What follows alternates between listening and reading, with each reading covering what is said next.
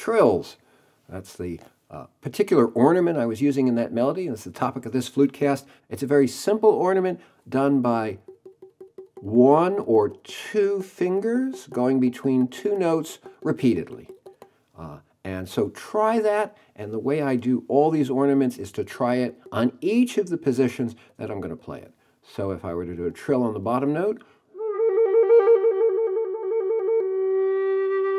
if you have trouble, if you feel that you're not getting it smoothly, then do it slower. We'll go up the scale.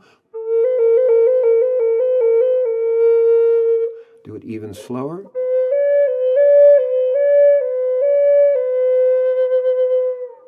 I'll actually do it with this finger as well. This is the kind of the unloved finger, the finger that never comes off, but I'll keep the top four fingers down and then I'll trill with a third hole from the top. Move up the scale.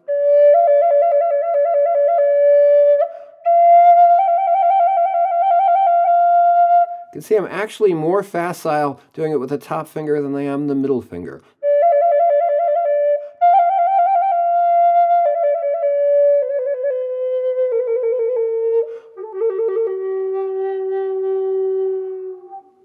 How do we use this? Well, one of the ways I use it and it's a, it's a bit of a trick, uh, especially if I'm playing with other musicians and I'm not sure what key I'm in. I'm not sure if I have the right key. I'm not sure if I simply hold a long note if it's going to work. So I'll trill, and I'll often trill with the two bottom notes, right? And I can trill softly and get louder and see how I fit into the music.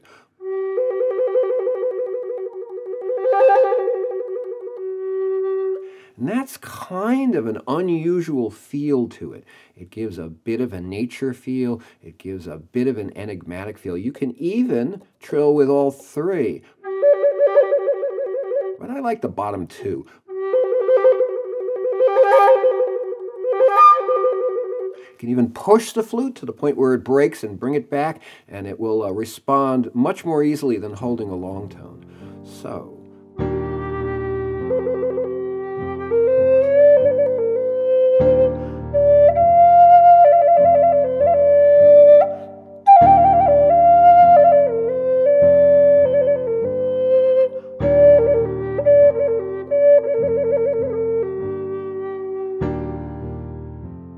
That's the trill ornament, and as with all ornaments, I play them lots and lots and lots for a week or two, really wear them out, and then forget about them, and they'll just come right up in my music whenever I want.